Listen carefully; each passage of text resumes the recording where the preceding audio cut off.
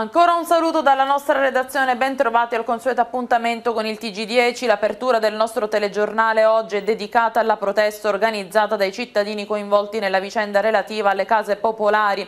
Urlano a gran voce che non vogliono abbandonare le abitazioni e chiedono di non essere lasciati soli. L'approfondimento in questo servizio. La casa è un diritto, è la scritta che campeggia su uno striscione esposto questa mattina a Gela, cronaca di una giornata di ordinaria protesta dinanzi a Palazzo di Città. Non vogliono lasciare le case popolari in cui vivono da anni, chiedono di restare, monta la protesta. Sono i cittadini che fanno sentire a gran voce le loro richieste, invocano l'intervento del presidente della regione siciliana Rosario Crocetta. Oggi per l'ennesima volta siamo qua davanti al comune di Gela per il fatto degli alloggi popolari. Noi vogliamo la regolarizzazione subito, immediata, perché ha da 12 anni, 13 anni che abitiamo in queste case e non, non ci potete buttare fuori. Noi siamo stanchi, lancio un appello a Crocetta che intervenga immediatamente. Siamo disagiati, siamo in mezzo a una strada, siamo anche senza lavoro. Signor Crocetta, si muovi! che noi siamo stanchi. Noi vogliamo essere regolate nella granatoria per la casa, abbiamo tutti i diritti. Noi vogliamo a Crocetta, Crocetta deve venire qua subito, immediatamente Crocetta. Abbiamo chiesto aiuto per un lavoro e si fanno sordi. Abbiamo chiesto di farci mettere in regola per le case e non ci interessa niente. Ci sono persone che veramente abbiamo bisogno, siamo persone che abbiamo bisogno di un lavoro e di un tetto. E al limite ci trovano un'alternativa, ah, prendono una casa, la casa sostitutiva e ci mettono un'altra casa sostitutiva. Queste sono case popolari. Persone che non, che non ci abitano da 30 anni, case vuote, persone che la usano soltanto come casa vacanza. Cioè ci sono persone che si fanno assegnare la casa e poi se ne vanno. E protestano anche gli studenti di Gela contro la buona scuola di Renzi. Un folto corteo ha raggiunto il centro storico della città fino a portarsi dinanzi al comune. Vediamo. Ragazzi!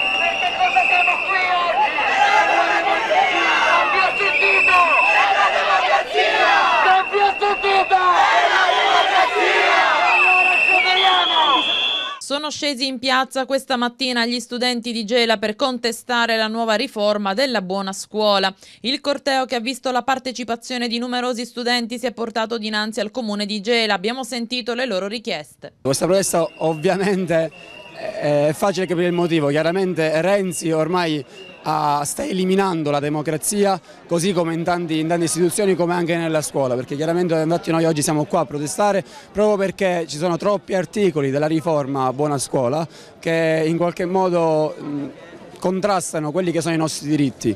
Eh, per dire ormai le, le, tassazioni stanno aumentando a livello universitario, eh, la scuola sta diventando solo per i ricchi, eh, non si potrà andare all'università, chiaramente noi siamo qui, quelli che vedete qui non sono ragazzi che sono venuti, scusate la voce, sono venuti solo per, per, il diverso, per una giornata diversa, no? tutti qua, vi posso assicurare che sono ragazzi che ci credono e che vogliono un cambiamento. Renzi deve capire che noi non siamo il problema, noi siamo la soluzione, invece di toglierci soldi per usarli per le imprese, deve capire che valorizzarci può essere la soluzione per tutti i problemi dell'Italia. La proposta di Gera è sicuramente una lotta contro la privatizzazione delle scuole, contro l'edilizia, l'edilizia scolastica che purtroppo qui almeno nost nel nostro contesto non funziona. Perché non funziona? Perché abbiamo ancora tecnologie, ad esempio io vengo da un istituto tecnico, abbiamo tecnologie indietro di circa 40 anni. Noi dobbiamo, siamo la scuola che formiamo i ragazzi al lavoro. E come possiamo formarli? Penso noi nel senso come possiamo formare la scuola se non ci sono nemmeno le tecnologie adatte? Noi rappresentanti degli studenti gelesi abbiamo deciso di, abbiamo deciso di aderire eh, a un'organizzazione un nazionale chiamata UDS, Unione degli Studenti.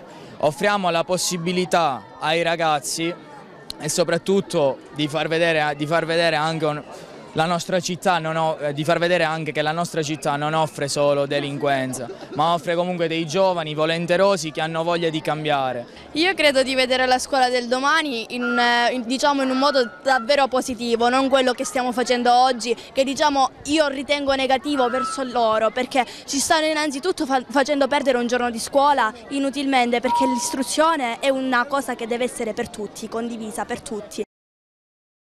Siamo alla cronaca, doppio incendio nella notte, dopo diverse settimane di tregua gli incendiari hanno colpito nella zona di San Giacomo e a ridosso di Sette Farine. Il primo allarme è scattato intorno a mezzanotte in via Lipari, un'Audi 5 è stata danneggiata dalle fiamme, appartiene ad un giovane operaio di 23 anni. Sul posto sono arrivati gli agenti di polizia delle volanti insieme ai vigili del fuoco. Poco dopo, intorno alle 3 in via Botallo, proprio a ridosso di Sette Farine, un rogo ha distrutto un Fiat Fiorino utilizzato da un operaio edile eh, di eh, 43 anni. Sul posto, oltre ai vigili del fuoco, sono arrivati i carabinieri della radiomobile. In entrambi i casi si segue la pista del rogo doloso.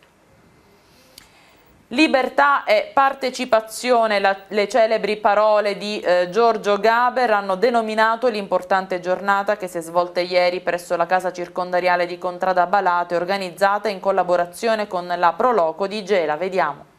Un messaggio sociale incisivo, quello concepito dall'Associazione di Promozione Turistica Proloco di Gela che ieri ha organizzato un evento all'interno della casa circondariale di Contrada Balate di Gela, di concerto con la direzione dell'importante struttura locale. Ai detenuti è stata offerta la possibilità di vedere e apprezzare il video di promozione del territorio locale prodotto dalla Proloco di Gela e di sorridere e trascorrere del tempo in allegria con lo spettacolo di intrattenimento con Salvo La Rosa e l'attore Enrico Guarneri Neri in arte Litterio. Possiamo definirla un'iniziativa perfettamente riuscita e possiamo dire che c'è stato un attimo di condivisione fra i detenuti e tutti noi. Eh, Salvo la Rosa e Litterio in fondo ripetono un po' quella che è la vita quotidiana della, eh, la vita quotidiana della Sicilia, del, del popolo siciliano ehm, ed è stato motivo di creazione di una sintonia, di una speciale sintonia, di una condivisione e anche in termini non tanto così teatrali, proprio in termini di fattività, di un'ipotesi di, eh, progettuale che va al di là solamente delle idee e dei pensieri. Walter Ricciche, che valenza dà la Proloco all'iniziativa che si svolge all'interno della casa circondariale? Grandissimo valore eh, educativo per quanto riguarda la casa circondariale ma anche eh, e soprattutto probabilmente eh, divulgativo perché l'obiettivo è quello di dare sempre la speranza eh, di una vita migliore e soprattutto far capire che Gela, la nostra città, eh, ha delle grandissime qualità, delle grandissime occasioni che bisogna, che bisogna, sfruttare. Ecco perché la Proloco è presente facendo capire eh, att attraverso il video che chiaramente mh, mm, pubblicizza la nostra città e facendo notare tutte le bellezze particolari nostra, del nostro paese. Quanto è stata importante l'iniziativa che si è sviluppata all'interno delle mura dell'istituto penitenziario? L'importanza è, diciamo, è notevole, notevole, perché oggi grazie diciamo, alla Proloco e grazie alle associazioni che hanno lavorato è stato possibile portare all'interno del diciamo, di queste mura eh, diciamo, un cenno di speranza, è stato possibile portare quello che la gente da qua dentro non vede da diverso tempo, cioè il tramonto di Gela, grazie al video della Proloco, ma soprattutto un, strappare un sorriso grazie diciamo, agli attori che hanno recitato sul, sul palco e credo che questa gente ne abbia bisogno per recuperare fiducia nella città e soprattutto per recuperare fiducia in se stessi. E all'evento organizzato dalla Proloco di Gela e dalla Casa Circondariale di Gela in collaborazione con l'Istituto Alberghiero di Gela diretto da Grazio Di Bartolo hanno assistito anche i dirigenti e rappresentanti degli istituti superiori di Gela nonché le massime autorità civili e militari locali e i volontari che prestano servizio con diversi progetti presso la stessa casa circondariale. Applausi a scena aperta per Salvo La Rosa ed Enrico Guarneri in arte Litterio. Sentiamo. Enrico, è stata, se vogliamo, un'esperienza, sottolineiamo anche formativa? Ma sicuramente, sicuramente, anche se per noi che abbiamo i capelli bianchi certe cose non è che ci sciocchino più di tanto ormai, però poi toccare con mano, entrare dentro una casa di detenzione è sempre un certo effetto. E qual è il messaggio che parte da Enrico Guarneri, rivolto ai detenuti? Rivolto ai detenuti, beh insomma, io che, che quando diventano ex detenuti rimangano tali quindi comportarsi secondo quelle che sono le leggi con molta pazienza, perché io capisce non è facile, a volte la disoccupazione, la mancanza di lavoro, ci vuole molta pazienza, sia ex detenuti rimaniamo ex detenuti, fate in modo di non tornare più. Salvo, è stata un'esperienza bella, formativa, affascinante se vogliamo, eh, che voi avete assecondato subito grazie all'iniziativa promossa dalla Proloco. Ma credo che mm, noi che facciamo questo mestiere abbiamo il dovere di andare a portare un po' di gioia, di serenità, eh, di divertimento nei luoghi di sofferenza. Noi andiamo negli ospedali, andiamo nelle case di cura, andiamo nelle mense sociali, andiamo a trovare i bambini, gli anziani e quando ci invitate, quando ci invitano veniamo anche a fare spettacolo nelle carceri, che sono luoghi di sofferenza dove chi ha sbagliato paga la propria pena, ma dove anche chi ha sbagliato ha diritto a vivere in maniera dignitosa, quindi anche a vivere momenti come questi eh, che noi abbiamo regalato a loro, cioè momenti di divertimento, di simpatia, quello che noi sappiamo fare abbiamo fatto anche per i detenuti. Del resto eh, Gesù nel giorno del giudizio ha detto ero carcerato e siete venuti a visitarmi, quindi eh, è un'opera importante, io mi complimento con tutti coloro i quali lavorano nelle carceri per portare eh, cultura, istruzione, divertimento, svago e lavoro anche a chi, lo ripeto, ha sbagliato e paga la, la propria pena. Quindi non è la prima volta e certamente non sarà neanche l'ultima, noi siamo sempre a disposizione, siamo anche personaggi amati e popolari e quindi con i nostri messaggi positivi arriviamo anche più facilmente al cuore della gente. Sono stati pubblicati bandi di concorso contributo per gravi malattie, contributo per handicap grave, gestione fondo IPOST anno 2015, lo comunica l'Inps di Caltanissetta. I soggetti in favore dei quali sono prestati predisposti bandi sono i dipendenti del gruppo Poste Italiane, dipendenti ex IPOST sottoposti alla trattenuta mensile dello 0,40% di cui all'articolo 3, legge 27 marzo 1952 numero 208, i pensionati della gestione gestione ex IPOST e i loro coniugi e figli portatori di handicap grave, conviventi o domiciliati presso strutture di cura e assistenza specializzate. È possibile consultare bandi alla pagina internet concorsi e gare, iniziative welfare, assistenza e mutualità, concorsi welfare, assistenza e mutualità, bandi nuovi. Le domande dovranno essere inviate entro il 31 dicembre 2015 alla Direzione Centrale Credito e Welfare Area Risorse e Contenziosa, mezzo raccomandata o eh, assicurata convenzionale. Assemblea del Comitato di Quartiere Macchitella, sono diversi gli elementi interessanti che sono emersi nel corso della riunione, eh, tra cui una proposta che inoltrerete presto a Palazzo di Città. L'Assemblea di Macchitella è stata l'occasione sia per poter presentare ai residenti le attività che in questi mesi abbiamo intrapreso, con sia diciamo, le notizie positive, quindi i risultati che sono giunti in questi mesi, sia quelle che ci aspetteremo nei prossimi mesi. Ma è stata anche l'occasione per presentare una bozza di regolamento istitutiva dei comitati di quartiere con annesso una proposta di bilancio partecipato. È un'idea innovativa perché il bilancio partecipato prevede di chiedere al comune di stanziare nel bilancio di previsione delle somme a destinare a tutti i quartieri, quindi per la manutenzione ordinaria e straordinaria di tutti i quartieri. I cittadini, conoscendo queste somme, possono poi chiedere eh, diciamo, mh, lavori nel quartiere per un ammontare complessivo alla somma stanziata. Eh, questo, questa proposta ha due vantaggi notevoli. Primo è che abbiamo le coperture, quindi non avremo più cantieri che iniziano e rimangono incompleti. E la seconda è un ritorno occupazionale, perché quando il Comune andrà a stanziare ogni anno le somme per tutti i quartieri, noi avremo la presenza di numerosi cantieri in tutta la città e quindi comunque avremo una piccola boccata d'ossigeno sul piano occupazionale in tempi di crisi credo che sia una buona opportunità di lavoro. Voi chiedete l'interlocuzione naturalmente con gli organi politici, però vi ponete come ente politicamente assolutamente trasversale. Inoltre eh, chiedete che tutti i comitati di quartieri della città siano assolutamente attivi. Certo, proprio per questo abbiamo presentato appunto una bozza di regolamento che permette, intanto di regolamentare in maniera um, equa la vita di ogni comitato di quartiere, sia dal punto di vista dell'elezione, sia dal punto di vista appunto della vita stessa del comitato.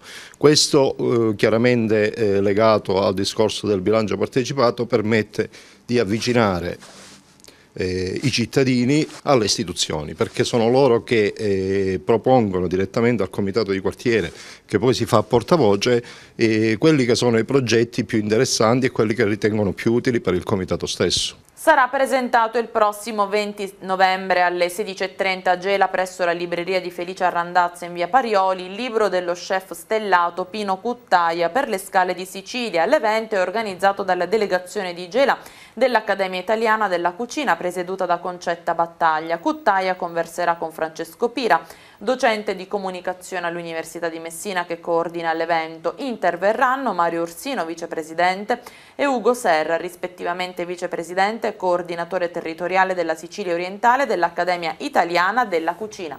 Ci fermiamo, c'è la pubblicità, torniamo tra poco, restate con noi.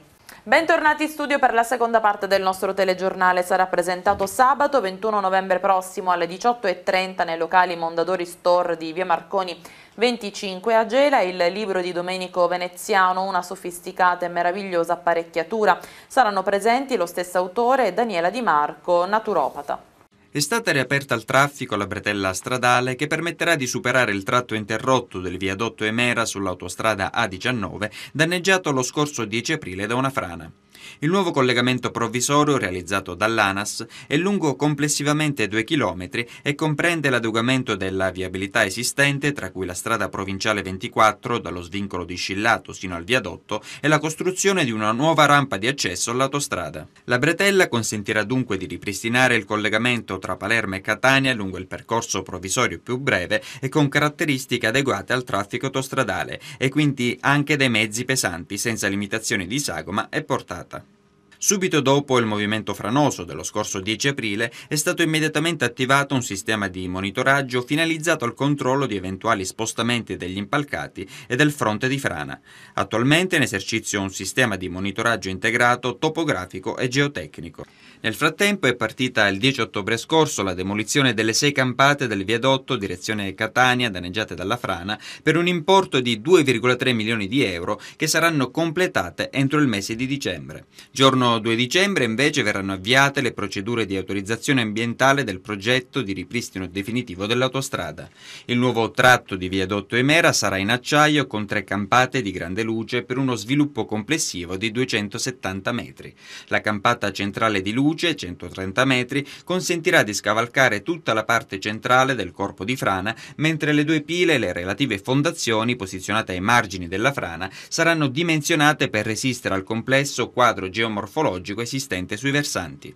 Il progetto esecutivo sarà ultimato entro il giugno 2016 per il successivo appalto dei lavori della durata di 18 mesi. Entro la primavera del 2018 dunque il tratto autostradale sarà nuovamente disponibile a due corsie per senso di marcia senza interruzioni.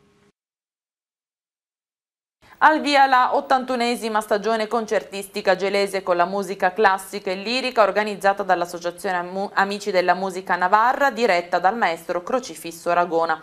Il concerto inaugurale della stagione si terrà in occasione della festa di Santa Cecilia, appuntamento domenica 22 novembre prossimo alle 19 presso Palazzo Pignatelli a Gela con il mezzo soprano Giuliana Consiglio e Angelo Zarbo al, pianoforte.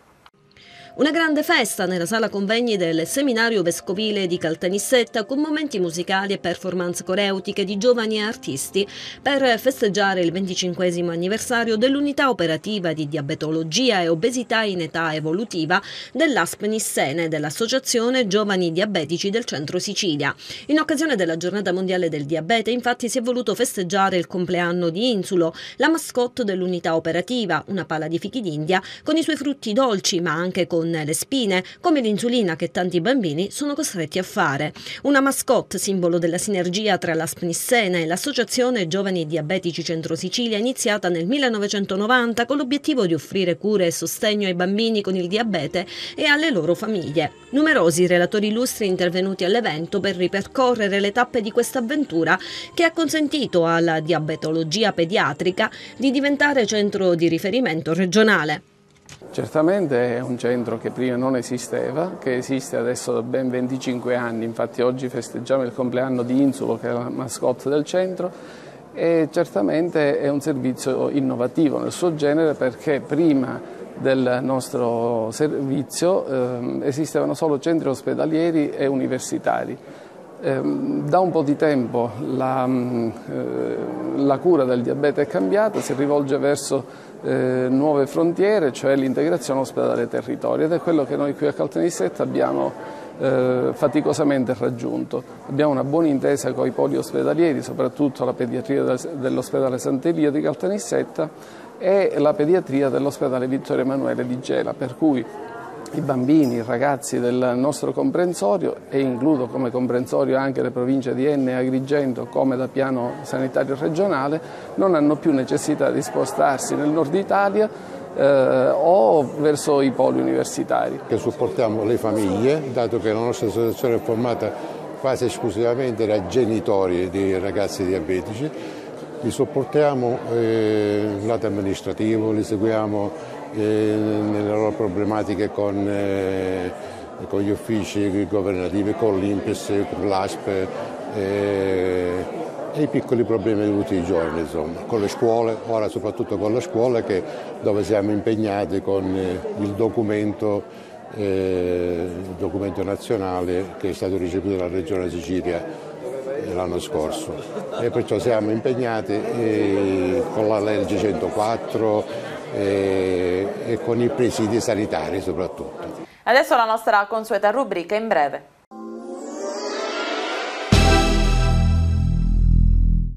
Prenderà il via il 15 dicembre prossimo la stagione teatrale di Cabaret 2015-2016 al Teatro Eschilo di Gela.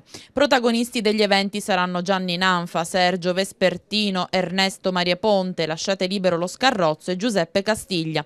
L'abbonamento per assistere a tutti gli spettacoli costerà 50 euro, mentre il singolo spettacolo 15 euro.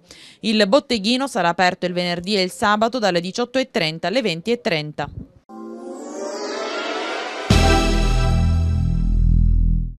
Un unico vero potere, servire gli altri nella solidarietà, è il tema del nuovo anno sociale 2015-2016 dell'Associazione Centro di Cultura e Spiritualità Cristiana Salvatore Zuppardo, presieduta da Andrea Cassisi. L'apertura ufficiale si terrà sabato 21 novembre alle 19 con una celebrazione eucaristica presieduta dal vescovo della diocesi di Piazza Armerina, Monsignor Rosario Gisana, presso la parrocchia San Rocco. Alla Santa Messa presenzieranno tra gli altri autorità civili e religiose e gli iscritti iscritti e i soci del centro culturale.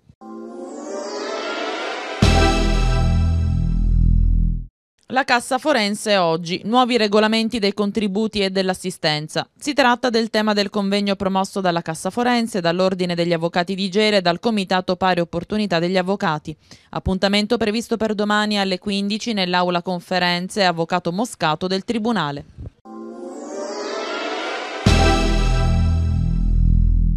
Si terrà sabato 21 novembre alle 20.30 al Teatro Comunale Eschilo di Gela il musical The Wits di Charlie Small che sarà portato in scena dal Centro Giovanile Musica e Arte Cesma. Il biglietto d'ingresso sarà fornito a chi porterà nella chiesa Regina Pacis o nella piccola Casa della Misericordia dal 15 al 21 novembre la spesa per chi è povero.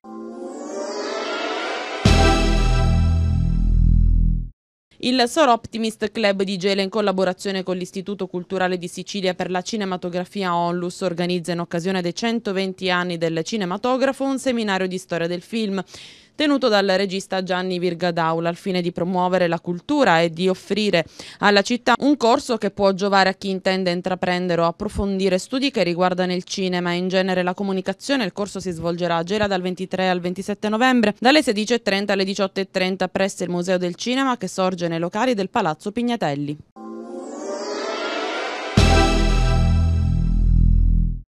Siamo all'informazione cinematografica è Marzian, Il sopravvissuto il film in programmazione al Cine Teatro Antidoto di Macchitella. Sono due gli orari di rotazione della pellicola, ve li ricordiamo, 18.30 e 21.30. E per il teatro comincerà mercoledì 18 novembre la stagione al Cine Teatro Antidoto di Macchitella. La compagnia Antidoto si esibirà in A Briscola 2x2, si tratta di, un, di due atti di Tiziana Guarneri. Appuntamento alle 21.30, lo spettacolo sarà proposto anche giovedì 19 novembre, sempre alla stessa ora. Bene, è tutto anche per questa edizione del nostro telegiornale, grazie per averci seguito fin qui, vi ricordo che i nostri approfondimenti sono disponibili sul portale web www.tg10.it, vi ricordiamo inoltre che il nostro televideo è costantemente aggiornato. Arrivederci.